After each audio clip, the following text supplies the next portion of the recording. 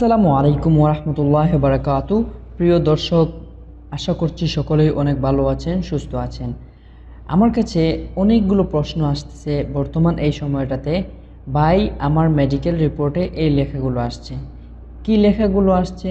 যেমন হলো, কারও আসছে ফিট কারও লেখা দেখাচ্ছে আনফিট কারও দেখাচ্ছে ইন প্রোগ্রেস কারও দেখাচ্ছে নিউ কারও দেখাচ্ছে আন্ডার রিভিউ তো এই জিনিসগুলো নিয়ে, এই স্ট্যাটাসগুলো নিয়ে আপনাদের মনে অনেক প্রশ্ন রয়েছে।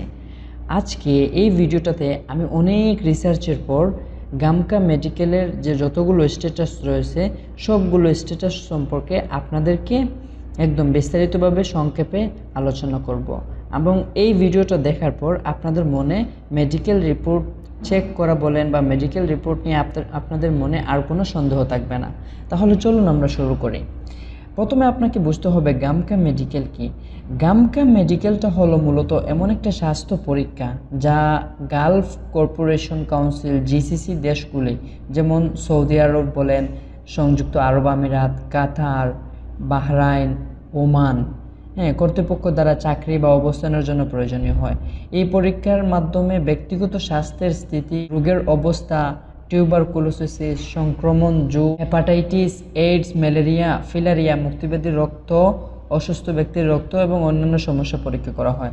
তারপর প্রয়োজন অনুসারে বিশেষজ্ঞ চিকিৎসা করা হয়। এই পরীক্ষার ফলাফল অনুসারে ব্যক্তি ফিট এবং আনফিট করা যাবে।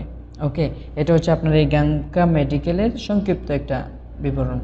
তো এবার হচ্ছে আপনার গাং গামকা মেডিকেল রিপোর্টে ফিট মানে কি?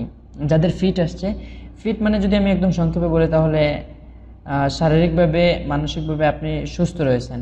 আনফিট মানে আপনার মানে শারীরিকভাবে সমস্যা আছে, যেগুলো আপনি চিকিৎসকের পরামর্শ নিয়ে আরও চিকিৎসা নিতে হবে।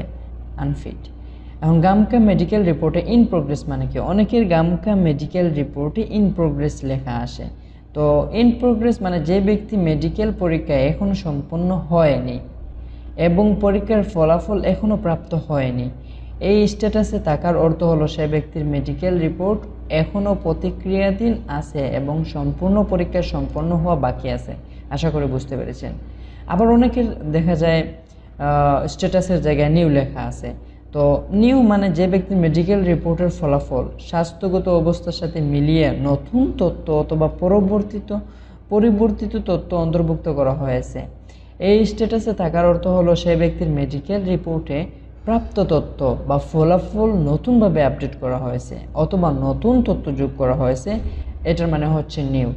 একদম শেষ হচ্ছে আন্ডার রিভিউ যাদের মেডিকেল স্ট্যাটাস আন্ডার রিভিউ দেখাচ্ছে, তার মানে হলো যে ব্যক্তির মেডিকেল রিপোর্টে বর্তমানে একটি বর্তমানে একটি বিশেষজ্ঞ বা ডাক্তারের নির্দেশনামুক্ত পুনরালেখ বা আলোচনায় আছে। এই স্ট্যাটাসে থাকার অর্থ হলো সে ব্যক্তি মেডিকেল রিপোর্টে বর্তমানে অন্য চিকিৎসকের বা বিশেষজ্ঞের মতামত এবং অভিবাসিত পরামর্শের অধীনে রয়েছে, যাতে বিশেষজ্ঞদের মতামত অনুযায়ী পরবর্তী চিকিৎসা বা পরীক্ষা নির্দেশনা প্রয়োজনীয় হতে পারে। এই হচ্ছে আপনার এই বিষয়গুলো। আশা করি সকলে বুঝতে পেরেছেন। আপনাদের কাছে যদি ভিডিওটা তথ্যবহুল মনে হয়, তাহলে ভিডিওটাতে লাইক দিবেন কমেন্টসে আপনার মতামত জানাবেন, আর চ্যানেলে নতুন হয়ে থাকলে অবশ্যই চ্যানেলটি সাবস্ক্রাইব করে আমাদের সাথে যুক্ত থাকবেন। সবাই ভালো থাকবেন। দেখা হচ্ছে পরবর্তী কোনো ভিডিওতে। আসসালামা